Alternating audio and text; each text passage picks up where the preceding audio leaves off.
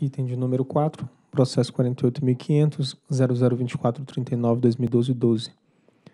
Determinação de preço médio provisório a ser utilizado pela Câmara de Comercialização de Energia Elétrica na contabilização e liquidação via mecanismo auxiliar de cálculo, MAC, dos processamentos das sessões do mecanismo de compensação de sobras e déficits de energia nova a partir de agosto de 2017 até a conclusão do sistema de contabilização e liquidação prevista para a contabilização de novembro de 2017.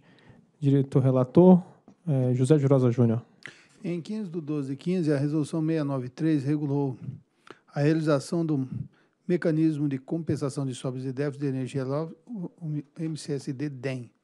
Em 21 de 6 16, a Resolução 727 alterou a 693, associando as sessões de montantes do CCR distribuidor com a possibilidade de redução dos montantes contratados com geradores.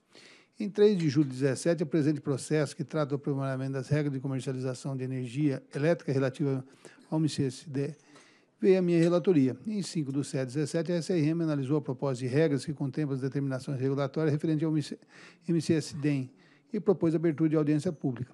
Em 6 de 7 de 2017, a Eletrobras Distribuição Alagoas apresentou impacto do não processamento das sessões compulsórias do MCSDEM SDEM no mercado de curto prazo e a partir do processamento A-0 com vigência entre abril e dezembro de 17.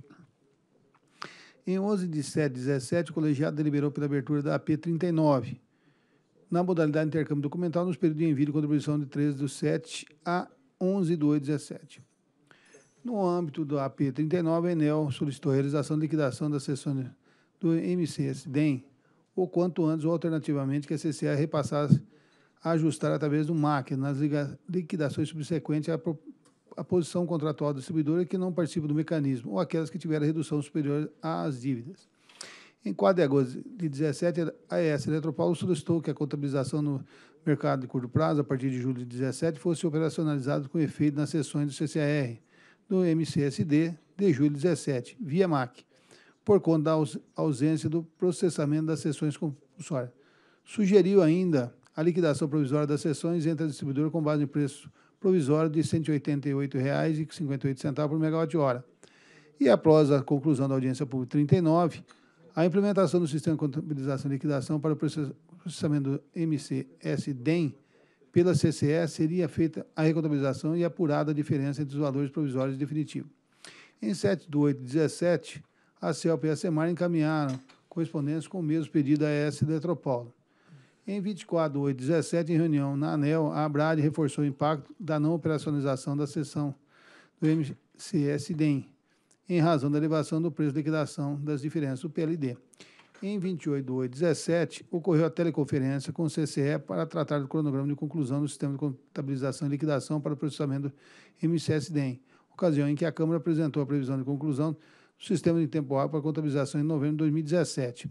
Em 6 de 9 de 2017, a CEMIG apresentou os impactos em disposições de curto prazo no fluxo de caixa da CEMIG-D e propostas para solução em razão da não operacionalização da, ses da sessão do MCSDEM. Em 6 de 9 de 2017, a SRM analisou a solicitação dos agentes com vista à proposição de preço médio provisório a ser utilizado pela CCE na contabilização e liquidação via MAC, do processamento das sessões do MCS-DEM a partir de agosto 17 é o relatório. Procuradoria. A Procuradoria opina pela presunção de juridicidade da decisão a ser proferida pela diretoria.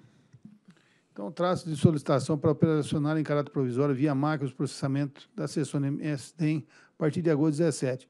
Tal solicitação está diretamente ligada ao processo de aprovação das regras de comercialização de energia relativa ao MCSDEM, objeto da P3917 de minha relatoria, ainda em fase de análise das contribuições.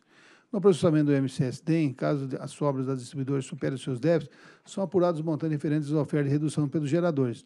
Assim como o mecanismo de redução é executado de modo centralizado, ele poderá impactar todos os distribuidores, inclusive aquelas que não efetuaram declarações iniciais.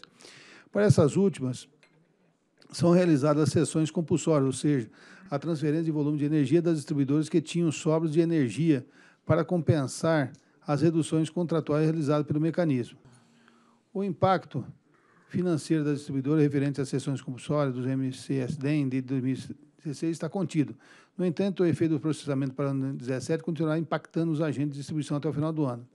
Considerando apenas os efeitos do MCS-DEM de julho a dezembro de 17, que se teve o maior volume de sessões compulsórias, em torno de 1.503,68 megawatts médio, a SRM estima um impacto de, na ordem de 314 milhões para julho, considerando o PLD de R$ 280,81 por megawatt-hora. E para agosto, esse montante passaria a 566 milhões, considerando o PLD de R$ 505,95 por megawatt-hora. Existe a previsão de, de utilização de máquina do MCSDEM, conforme destaca a SRM e a SEMIG, nos termos do parágrafo único do artigo 10 da Resolução 693, incluindo pela Resolução 727, que diz Excepcionalmente, para os anos 2016 e 2017, a CCE poderá promover o processamento de modalidade, quantidade e disponibilidade por meio de MAC, no, no cálculo do MCSD. No entanto, a CCE vem utilizando o MAC apenas para o processamento das reduções contratuais, inserindo reajustes no sistema de, no sistema de contabilização e liquidação, o SL, ficando pendente o processamento e inclusão no sistema de sessões da distribuidora, no período de julho de 16 a julho de 17. Essa decisão, conforme mostrado, vem impactando as distribuidoras, na medida em que apresenta elevadas exposições financeiras no mercado de curto prazo, decorrente da redução contratual sem o recebimento das sessões. Tal efeito atingiu materialidade significativa a partir dos processamentos do produto A-0, abril a dezembro, e A-0, julho a dezembro, em maior medida.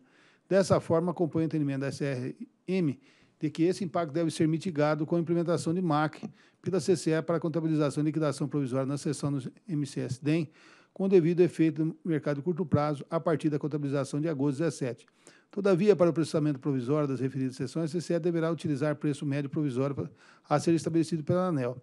Na proposta da regra submetida à P39, o preço para valoração das sessões será médio do preço ponderado do CCAR, atualizado para o momento da liquidação verificando a proporção dos contratos por quantidade e por disponibilidade que formam as sessões.